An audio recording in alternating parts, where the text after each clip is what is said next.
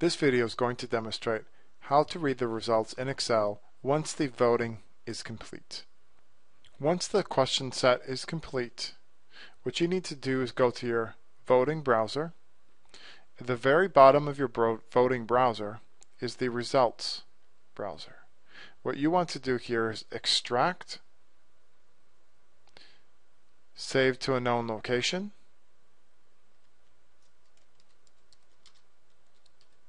The nice thing about this, it will not allow you to open it until you name it.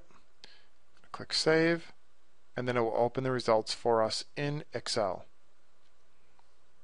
What we have here is the name of the flip chart, where it's saved, the date it was given, the series of questions here that were asked, who answered them by their name or number, for us we have our number, how many questions were asked, their percentage, and how long it took each student to answer the entire set of questions.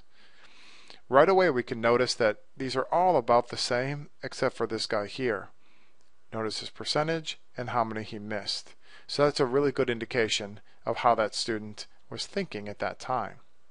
The nice thing is that down below we have some tabs. We can look by question. So we can scroll down and take a look here and seeing that we got half and half. This is something we want to revisit in small groups. We can look student by student and see here they got these correct and how long it took them to answer each question. We can scroll down to find our friend. As we see, it took him three seconds where potentially the average time was 10 so they're just potentially guessing here. Then we go to our question page.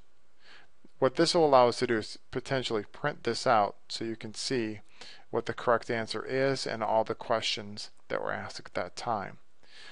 This has been viewing your question results in Excel.